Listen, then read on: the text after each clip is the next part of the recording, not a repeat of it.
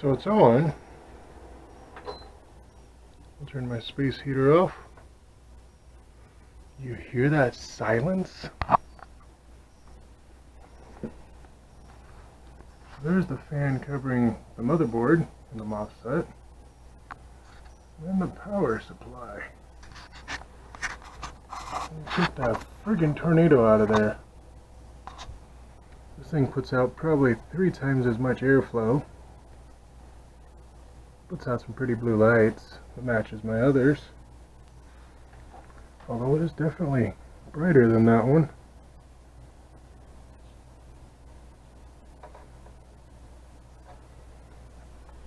Oh yeah, you can feel the airflow out of there.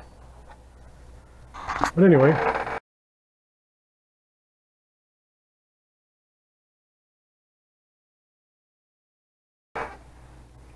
that's the bottom of my Anycubic Chiron.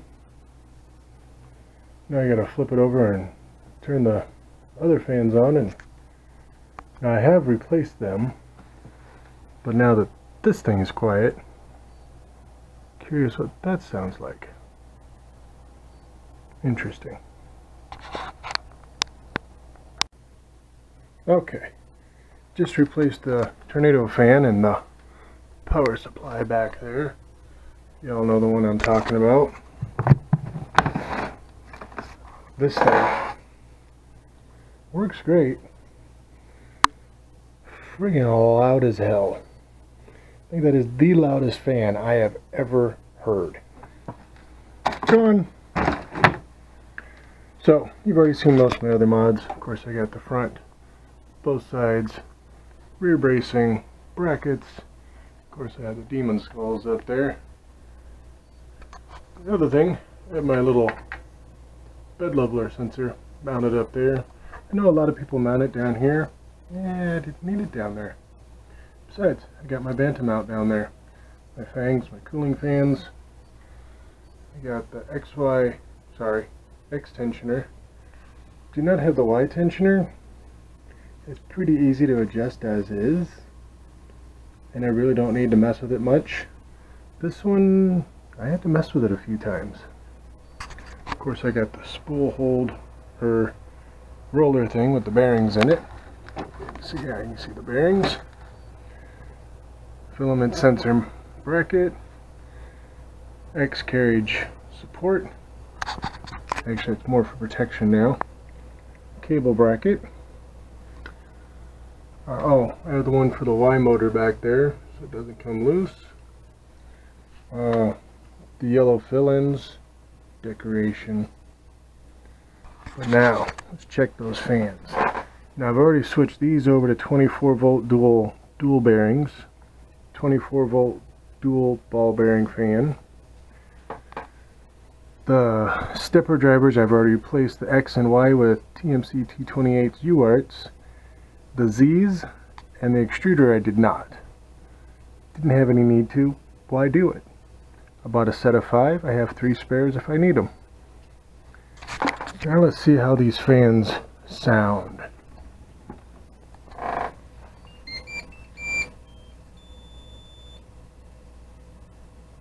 I don't hear nothing. Let's look to make sure they're on. Okay. Blue lights are on underneath. The fan is actually the one I'm pointing at now. I don't hear squat. Let's uh, heat up the well, I guess the bed doesn't make any difference. We don't need to heat that up. Let's heat the hot end up. Go to 202. it's just where I happen to go. I think it usually kicks on at like 65.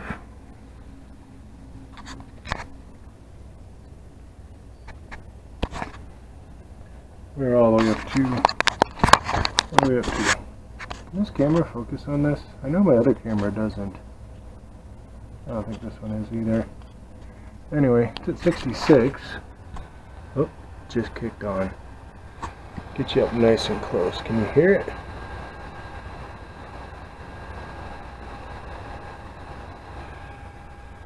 Let's turn the parts cooling fans on.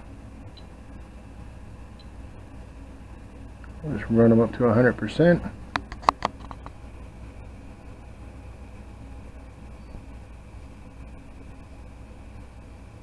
And on. Oh, I can hear those. I don't know if you can hear them. That's these top two fans running.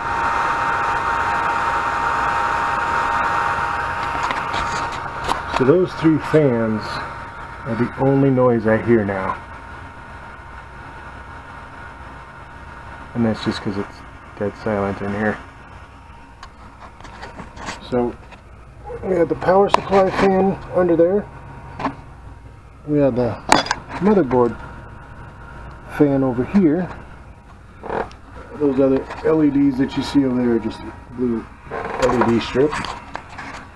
Those are the only things making noise now. Now that said, I do have, that is not it.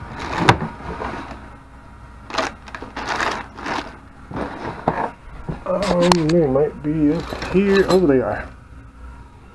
I do have another set that I just ordered, just so I had backups if I needed them. And these are from the Big Tree ones, 24 volt. And they're supposed to be completely silent. Apparently I'm losing. I saw a white string down there flapping around in the breeze.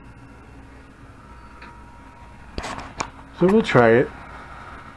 I mean, right now these sound loud. It's because there is no other sound going on. Alright, cool him back off.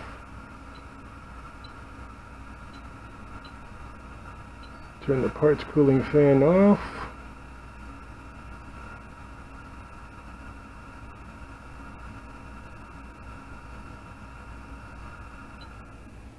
So now people stop yelling what in my videos. I know that power supply one was just hugely loud. Now the fan that's on there puts out, um, what was it, 7,500 square feet of air per minute. The one that was on there, not even sure what size that is. What is that, a 60? 50 or 60? Might even be a 40. Yeah, but I put a 120 in its place and it's got the whole bottom I mean it covers that you saw my previous or the first part of this where I showed you the bottom of the printer it's huge compared to this thing so I don't think cooling is going to be an issue now I'll do is a couple of prints see how the parts cooling fans on top and the hot end cooler do if I find them to be louder than I want can always replace them with these that I got from Big Tree. I haven't even tested these. Yeah, I don't want to take it all apart. I changed my ends on there to JST connectors. These little tiny plugs are a pain in the ass. And at the time I was changing parts so often that it was just easier to change the ends than it was to change the fan. And that's when I had that thermistor uh, short. I had four shorts in the main cable. And that's in my other video there that you can look back at.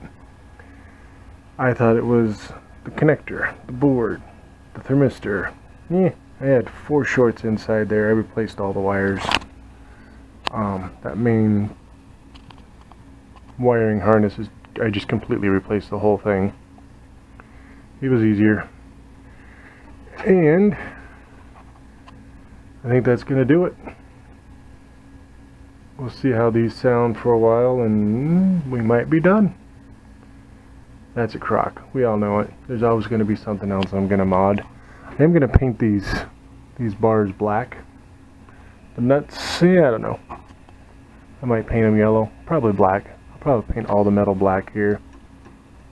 That one's a little loose. Hmm. Now that fan shut off. It's quiet again.